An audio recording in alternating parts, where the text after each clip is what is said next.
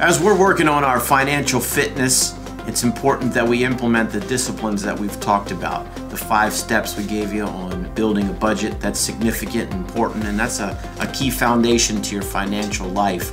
And building up an emergency fund, that's elementary. It's very important, but it's it's the ground level floors on, on building a financial house. Um, today, we're going to start talking about some things that can lead to some greater success and growth in your finances. And, and there's a lot to learn, and it can be overwhelming. But the important thing is it's, it's just about um, learning something and implementing it. And just like you're building a skyscraper, you don't build it all at one time. You start floor by floor by floor. So having a budget in place, having a, a, security fund, emergency fund in place is important. Setting up some type of investment strategy is important. Um, and Nobody likes to pay taxes. Um, you hear about Uncle Sam. Uncle Sam likes to take your money.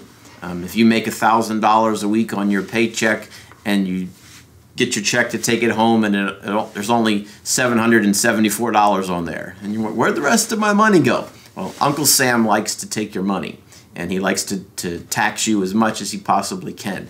So, as a wise investor, as you plan for retirement, it's important that you set up the right types of accounts that can keep you paying as little taxes as possible, unless, of course, you like to pay more taxes. But if, if you want to have those types of accounts set up that'll pay you, that you have to pay less taxes in, uh, we'll talk about those and give you some strategies that you can implement to pay as little taxes as possible. Um, that's the way that I'd like to do things. And uh, if you want to pay more taxes, don't listen to anything that I say in regards to this. But as you're building this financial house and become financially successful, um, whether you're going to save money or not, or invest money or not, all comes down to discipline.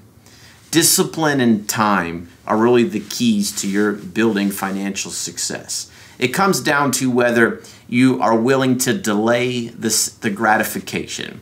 If you have to have it right now, then you're not going to be disciplined to save for the future. If you're disciplined to save for the future, you can have much more, but because because of the, the the increase of your finances over time, but you can't have it right now. So if you if you have to have it right now, then then you're you're going to be challenged to be able to save and see things advance and grow in the future. If you're willing to delay your gratification, and say, I can't have all that I want right now. I can't have the fancy car and the big house right now, but I have a nice car and a nice house, but I'm, I'm investing and I'm saving uh, for the future.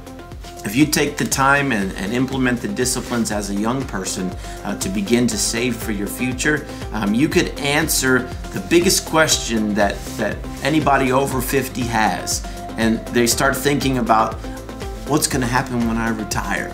And uh, if you're smart when you're 20, you won't have that question to worry about when you're 50.